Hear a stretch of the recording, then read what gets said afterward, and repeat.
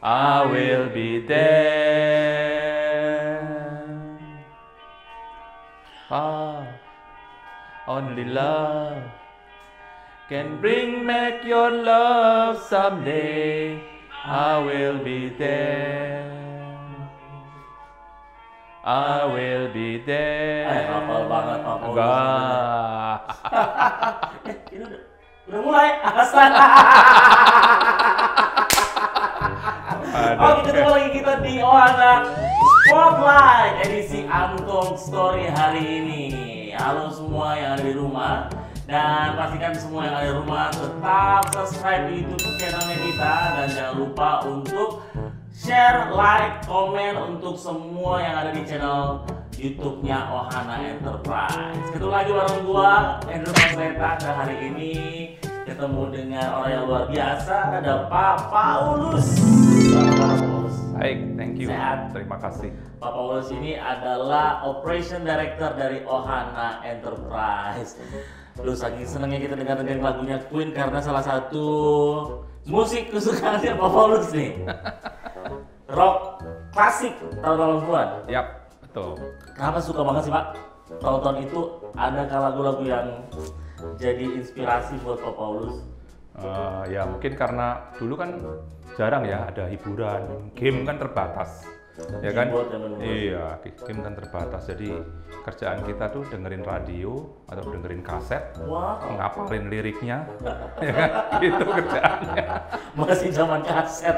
Saya belum Kalau lahir enggak- kayak gitu. Kalau nggak beli kaset kosong, nyetel radio, direkam, Rekam, direkam. Supaya nanti bisa di setel ulang. Tahun Nah, berapa itu? Tahun berapa itu? Eh, tahun berapa ya? 83, 84, 85 gitu lah sekitar-sekitar itu. Hmm. Saya belum direncanakan itu. Waduh, salah satu yang eh, musisi tahun 80-an itu yang Pak Paulus paling suka. eh dalam apa genrenya apa nih? Ini ya, rock lah, pasti kan rock klasik. Hmm. Tadi Scorpion, terus ada apa lagi? Ya kita dulu kan sukanya Queen ya kan. Queen. Biasanya Nice. kalau yang rock Queen, eh, Scorpion tadi ya kita Scorpion, yang White Snake. bareng, ya kan White Snake, terus siapa Van Halen, Di Purple. eh, Deep Purple. Nah, itu kalau yang rock ya kan. Habis itu kan ada yang pop. Iya, Ya kan, jadi gitu. kebot. Apa dosaku iki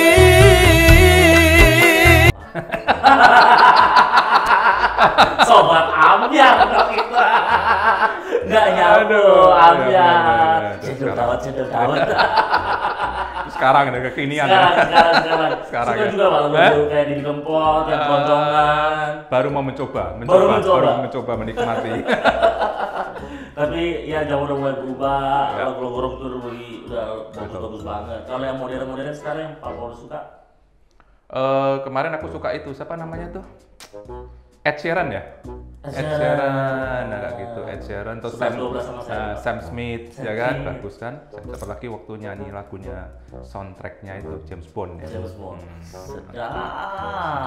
Nah, Pak Paulus ini orangnya kekinian, kekinian. Gak terlalu Kekinian kini lah, gak terlalu kini. Nggak terlalu kini. Nah, kalau yang Tapi- yang kini sekarang Tones and I ya. Oh, James Monkey. apa juga, apa juga. Iya, iya, keren, keren, keren, keren, keren. Oke, kita akan ngobrol-ngobrol ini Pak Paulus ini udah makan asam garam lah ya Pak. Eh? Makan asam garam. Makanya udah- tekanan darahnya tinggi.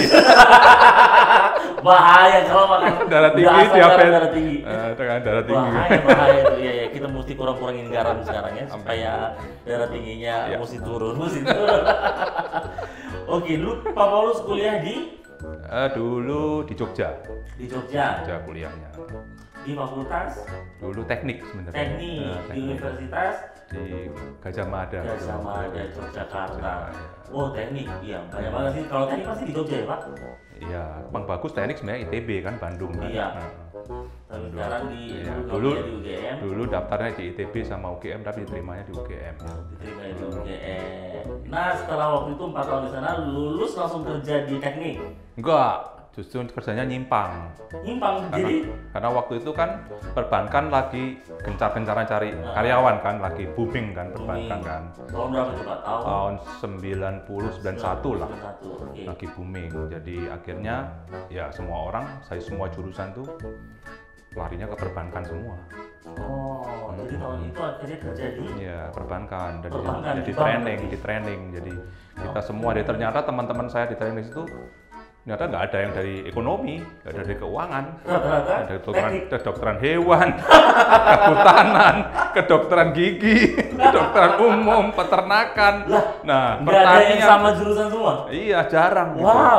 Wow. Karena- wow, zaman itu ya. Ya karena booming sekali, mereka cari sumber apa apa karyawan ya Karyawan banyak banyak sekali waktu itu waktu itu. itu ya. Jadi akhirnya mm, cukup menarik dan memberikan kompensasi yang lumayan waktu ukuran saat itu. Jadi akhirnya semua eh, lulusan apa namanya eh, universitas itu kebanyakan eh, lamar ke perbankan gitu. Waktu melamar itu tahun 90 90 91 sekitar itu. Ya. Waduh, itu angka rupiah masih lima ribuan itu masih Enggak di bawah itu, mungkin masih di bawah itu. mungkin di bawah 2000 kali ya Dua masih. ribu itu masih ya. masih berharga banget Di teman bawah teman 2000 ya. Mungkin uang punya, punya uang sepuluh ribu itu udah wah udah orang kaya banget tuh bawa uang Iya. sepuluh ribu. Iya betul. Masih kan dulu belanja ke warung bayar berapa Lurah? Apa? Dulu saya di Jogja kuliah itu sehari makan tuh seribu rupiah.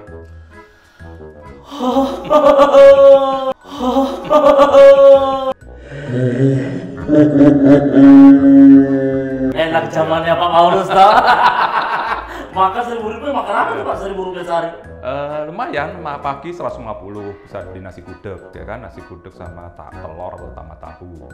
150 rupiah Heeh. udah bisa makan gudeg. Ya, pokoknya kita bagi gitu sehari 1000, pagi 150, siang 500, pakai udah agak bergizi dikit lah siang Iya, kan. iya, iya. Ada daging, ada ayam, ya kan. Itu 500 rupiah Pak. Ini 500 rupiah. Sekarang 500 rupiah dilempar piring gitu. Ya udah malam ya makan malam ya selisihnya lah ya sekitar Iya. 350 300 rupiah gitu enak banget kalau zaman-zaman itu ya. ya, ya Kelihatannya begitulah begitulah Kurus kalau kita lihat ke belakang bagus ya. ya masih segitulah masih rendah sekali Hmm. Wah, berapa tahun Pak di dunia perbankan akhirnya?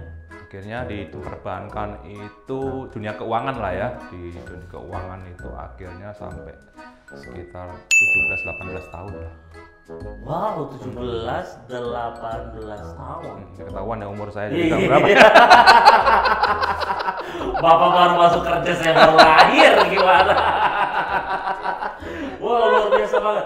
Jadi selama 17 tahun itu akhirnya Bapak harus membangun buana di dunia perbankan. Ya, keuangan lah ya. Keuangan. Berarti sempat kalau keuangan itu kan berarti sempat dong ngerasain waktu tahun 98 betul gitu. justru justru waktu itu saya kan lagi di bank Mm-mm. ya kan waktu itu kurs kan pertama dari 2500 langsung pernah Lo- lompat. puncak itu sampai Iya. kan bulan Mei 98 itu kan ada kerusuhan kan waktu itu Iya. ada ya kayak gitulah krisis ekonomi itu kan bunga jadi meningkat luar biasa ya kan bank-bank pada kolaps ya kan gitu Jadi pada zaman itu terasa banget lah ya Pak. Iya, Istilahnya betul, di dunia betul. perbankan. Tapi waktu itu tetap masih di dunia perbankan akhirnya. Ya, tetap di dunia perbankan, tapi akhirnya sampai beberapa tahun lagi, kemudian pindah ke lembaga pemerintah ya, yang kebetulan dibentuk khusus untuk menangani restrukturisasi di perbankan ini. Oh, jadi sempat akhirnya masuk di dunia pemerintahan. Iya. Untuk di bagian, di bagian apa itu Pak Paulus? Dulu namanya Badan Penyihatan Perbankan Nasional. Badan Penyihatan Ya, Perbankan Nasional. ini lembaga lembaga sementara ya ad hoc yang dibentuk oleh pemerintah hanya beberapa tahun saja hanya untuk supaya perbankan sehat kembali tujuannya seperti itu. Wow, luar biasa banget. Jadi eh, perjalanan cukup panjang, cukup luas, dan akhirnya Pak Paulus per tahun lalu ya, tahun lalu. Ya, eh, tahun lalu, tahun lalu. Tahun lalu akhirnya Join di join Ohana. di Ohana Iya. Enterprise dan Betul. hari ini menjabat sebagai Jadi operation lah ya. operation, Jadi di operation, ya. dari operasional di Ohana Iya. Enterprise. Gimana Pak bedanya? Ini kan perbankan tiba-tiba ini kan jomplang banget nih ya perbankan terus dunia pernikahan ya ngatur dunia pernikahan. Apa sih perasaannya berbeda nggak sih Pak? Pasti berbeda ya. Mm. Pasti berbeda. Eh, cuman ada beberapa hal memang pengalaman-pengalaman yang saya ambil di dunia perbankan dulu yang saya bisa gunakan juga terapkan di sini. Gitu karena kan kalau di perbankan dulu kan semuanya itu tertata, tertata ya. Tertata karena ya. perbankan kan eh, industri yang sangat teregulasi sangat Iya. banyak peraturannya itu. Ya kan jadi harus punya prosedur harus punya struktur yang jelas dan sebagainya.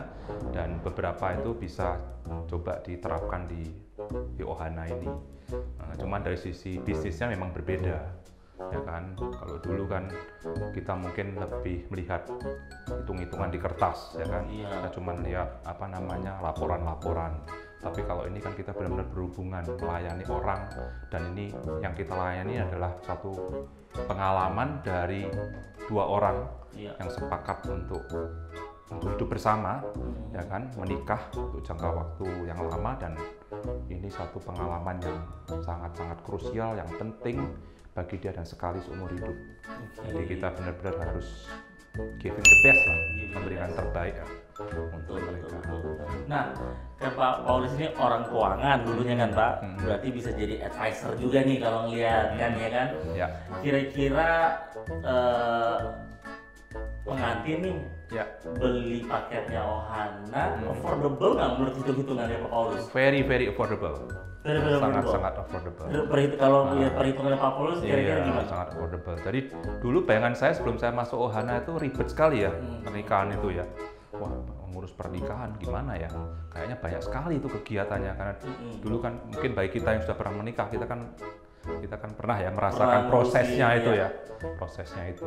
Tapi rupanya waktu saya di Ohana semua itu sudah di package sedemikian rupa ya kan? Sedemikian sehingga istilahnya bagi pengantaran pengantin itu pusing kepusingan kepusingan itu dieliminasi tereliminasi gitu, Tereliminasi. dan akhirnya mempercayakan semuanya itu ke Ohana. Semuanya disediakan dalam satu paket gitu. Dan rupanya bukan hanya itu ternyata harusnya kan kalau kita menyediakan servis yang berbagai macam harusnya kan kita apa namanya istilahnya kita charge lebih tinggi ya kan? Iya. nah rupanya Ohana bisa mempaket itu dalam harga yang cukup affordable cukup dapat di, diterima. Diterima dan disanggupi oleh oleh calon-calon pengantin itu klien kita ya kan? Dengan nilainya sendiri dengan cara pembayarannya dan seterusnya dan seterusnya. Dan bukan hanya cuma paket udah dapat bonus-bonus lagi ya kan? Banyak sekali Iya, gitu. Kalau zaman dulu susah ya Pak dapat Ya, bonus. dulu nggak ada strict gitu. Sering, Dulu pokoknya cuma cuman ya sewa gedung sewa gedung catering catering. Lu cari sendiri cincin cari sendiri apa cari sendiri semua cari Iya, sendiri gitu. sekarang lebih cari fotografer Iya, sendiri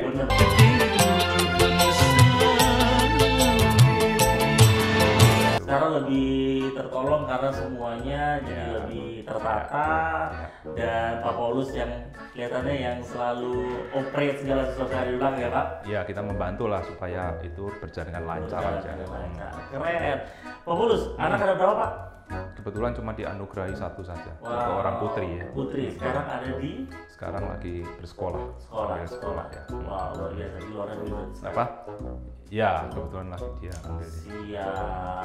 Oke Pak Paulus, thank you banget. ya Udah mau cerita-cerita bareng kita ini Thank luar biasa banget pengalamannya. Satu kata Pak Ya. oh, tentang Ohana. Eh, ya, eh, saya pikir bisnis seperti Ohana ini harus makin tingkatkan ya, tingkatkan dan memang kalau kita lihat ini sudah on the right track, sudah di arah yang benar, sehingga kita perlu kembangkan terus, kembangkan terus, marketnya ditambah, diperluas, dan waktu saya join di Ohana dari founder, dari owner waktu itu menyampaikan bahwa Ohana tidak hanya akan konsentrasi di Jakarta, Tangerang, tapi juga akan membuka di banyak kota. Karena memang potensinya masih luas sekali. Iya. Dan kita dari sisi operation harus menyiapkan itu, mensupport itu bagaimana supaya cabang-cabang yang beroperasi di kota-kota tersebut dapat mengcopy, melakukan apa yang dilakukan di Jakarta dan Tangerang, dan mereka juga memberikan servis yang kualitasnya sama. Sama dengan yang di Jakarta. Baik, thank you Pak Paulus. Itu dia perbincangan kita dengan Pak Paulus luar biasa banget. Jadi Anda nggak perlu lagi ragu untuk bisa memilih paketan di Ohana karena kita memberikan servis yang terbaik dengan harga yang affordable. Jadi pastikan terus untuk tetap mengikuti channelnya kita di edisi-edisinya di Ohana Enterprise dan jangan lupa untuk tetap subscribe, like, komen dan share ya karena teman-teman kalian mesti tahu tentang channel ini karena ini sangat bermanfaat buat mereka bagi mereka yang ingin persiapkan pernikahan mereka di kemudian hari. Sampai ketemu lagi kita di Ohana Spotlight